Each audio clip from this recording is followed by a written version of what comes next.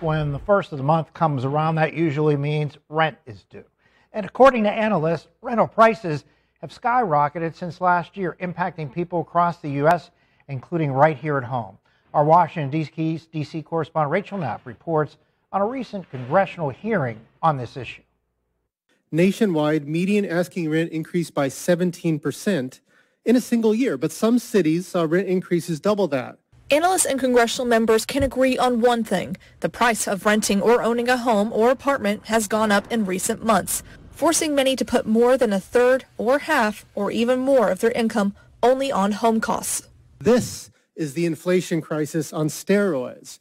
When the price of gas goes up, we can adjust, carpooling to work.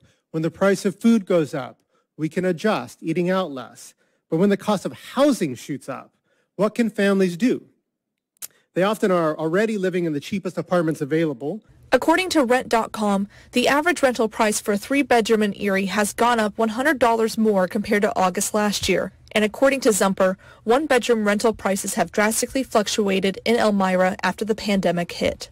Analysts say the economy, high mortgage rates, and costs of other expenses could be factors as to why prices have gone up. Paychecks are not keeping up with rising prices. But congressional members have some different ideas on how to address this issue. We should scale back the role of government and increase the role of private capital.